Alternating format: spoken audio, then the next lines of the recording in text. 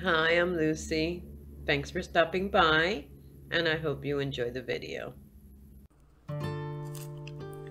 As a teenager, I really didn't realize that my siblings, my mother and myself, were really actually homeless most of the time when we moved into a motel. And as a matter of fact, this time it wasn't so bad. If anything, we had a lot of fun.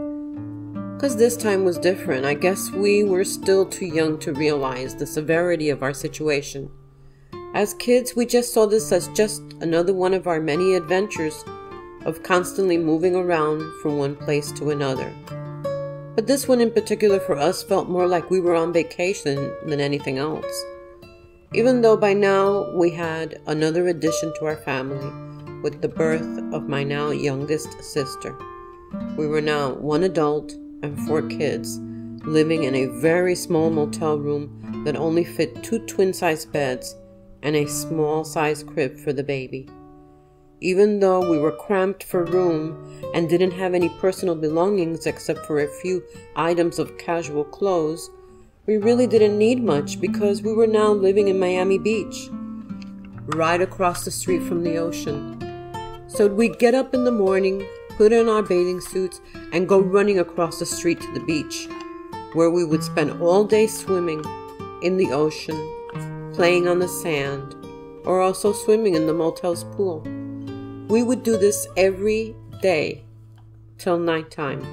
Then at night, we'd walk along the beach till we went back home to our little motel room to go to sleep. For the first time in my young life, I felt free because I didn't have the adult responsibilities that had been forced upon me as a child. Even though I still had to tend to and take care of the new baby, it was still a relief not to have to worry about other things on top of that.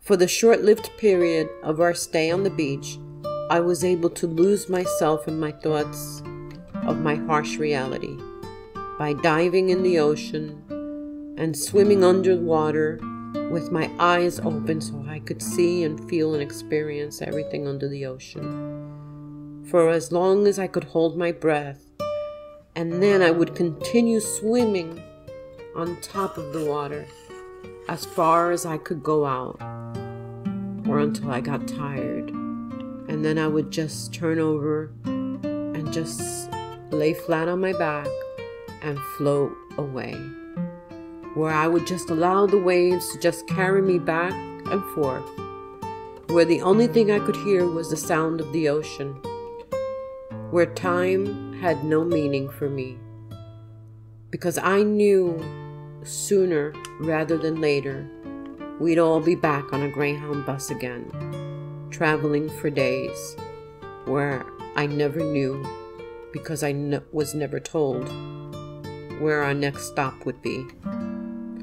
So if I could stay on that ocean for the rest of my life and become a mermaid, that was my childhood fantasy, and I guess some sort of escape.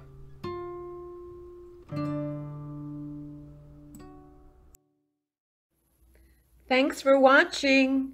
Please click down below where it says subscribe and click the notification bell to never miss a new video.